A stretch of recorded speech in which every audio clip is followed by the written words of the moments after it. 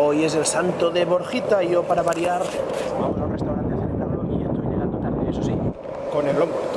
Y aquí estamos en el Flags and Kale, que es un restaurante de un colega que se llama Jordi Barri, eh, que está por aquí, por el centro de Barcelona. Palabras del agraciado. Yo no. ¿Agraciado? Hola. Desgraciado. Joder, ojo, cuidado. Este Jaume. Guapo no es, pero buena persona. sí. Ahí está Roinaken, aquí está Marc, aquí está Borjita, aquí está Marcel. Y aquí está Isa. Isa, la gran Isa Jansen, belga. Es ver- belga, ¿verdad?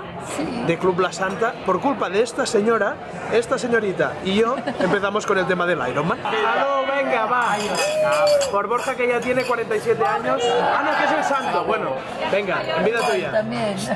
Y tú, y tú que lo veas, un poquito de vino de vez en cuando no hace daño. Aquí está el jefe de todo esto. Jefe, felicitats. Me he vuelto a despertar. Eh, así somos y así seguiremos. Os dejo aquí abajo los links. De mi último vídeo. Sí, de mi último vídeo, el running sanjuanero. Mira cuántos links que tengo aquí. Estamos ya en el ascensor. Hoy me va a contar varias cosas, pero entre... Jordi, tío, que la gente me respeta. A mí tengo una, tengo una reputación. Piensa que soy un tío serio. Jordi le conozco desde hace años, de la época en que yo trabajaba en agencia y productora de publicidad y él también. Sí, Pero ahora los dos ya no trabajamos en publicidad y somos personas respetables. intentamos. Y él tiene su negocio y yo tengo el mío. Os voy a dar cinco consejos para empezar a comer más sano y que te sientas bien, de los fáciles. Venga. Empezamos por el primero. El azúcar es muy peligroso.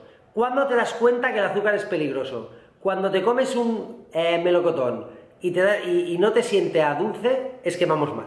Es decir, la fruta tiene que ser lo que interprete tu cuerpo que es lo más dulce. ¿Qué os quiero decir con esto?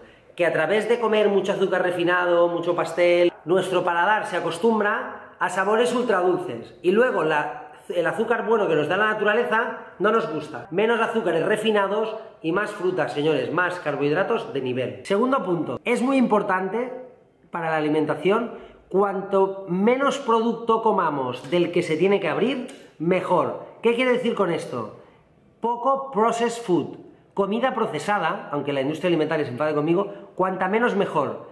Cuanto más fruta, verdura, tenéis que comprar eh, productos integrales, whole foods que se llaman en inglés. Es decir, menos embutido, menos eh, pastelería envasada, todo lo que esté muy envasado está tratado, señores. ¿Por qué? Porque se tiene que tratar para que dure muchos meses para vender. Comprar más en el mercado y menos envoltorio para vuestra comida. Número 3, señores. Tal y como está montada la comida occidental, a la mínima que te descuidas te estás pasando de gluten en tu cuerpo. Pasta, pizzas, pan, bollicao, donut, no acabarías nunca. Mira, diré una cosa antes de que digas, ¿eh? Claro. Estoy muy de acuerdo. He perdido 6 kilos con arroba Andrea Ferrandis y básicamente lo que he hecho es eliminar esto.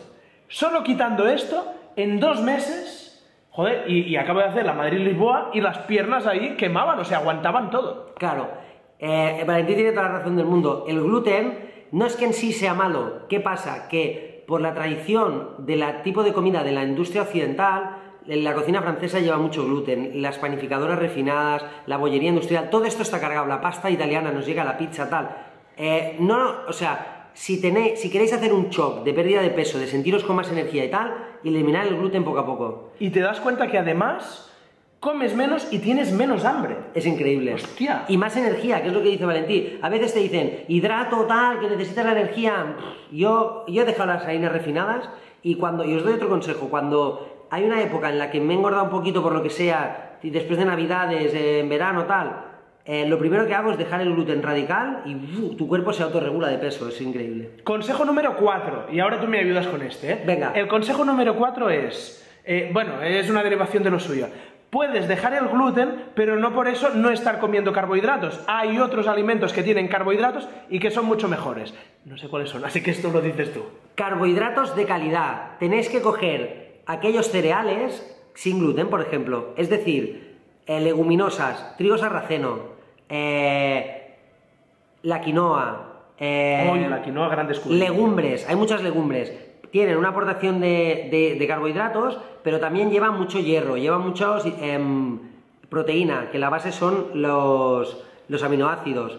Entonces, carbohidratos de calidad lo puedes encontrar también en la fruta. Oh, yo soy triatleta, yo soy deportista, no sé qué. Tengo que hacer carbohidratos y piensan, pasta, Pasta. arroz y pan. Error. Coño, eh, no, hay muchos otros y demás. En cuanto a la pasta, al arroz y al pan, en el caso que lo hagáis, puede ser integral. Claro, es que de hecho, y es muy buen apunte lo que dice Valentí, la diferencia principal entre consumir cereales integrales y cereales refinados es que el cereal integral mantiene el salvado, que es la cáscara, y para que os deis cuenta, si tú coges un arroz integral y lo plantas, puede germinar, crecer una plantita y salir más arroz. Cuando tú coges un arroz blanco refinado, lo plantas y no vuelve a nacer. ¿Por qué? Porque está muerto. Y punto número 5, y con eso dejamos de dar la, tabarra, pero eh, comed sano. La proteína animal, ojo a la proteína animal que consumís. Es decir, ¿tengo que eliminar la proteína animal de mi dieta? No. Eh, ¿Tengo que controlarla? Sí. ¿Qué os recomiendo?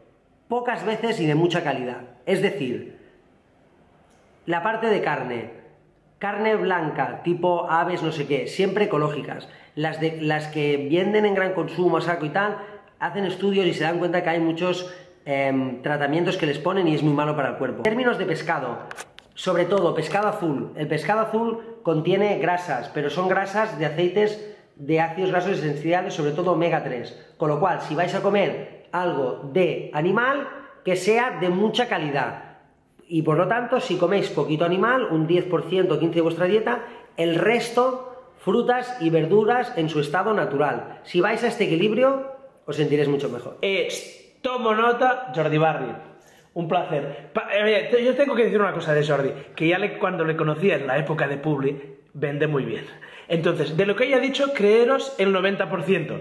Si estuviéramos hablando de Publi, os diría creeros un 10. Pero como estamos hablando de alimentación y cosa sana, ahí sí que la cosa Si os, lo da. Perdón, eh, si os creéis un 90%, el otro 10 es proteína animal. Jordi, tío, un placer. Igual, merci. Y a vosotros muchas...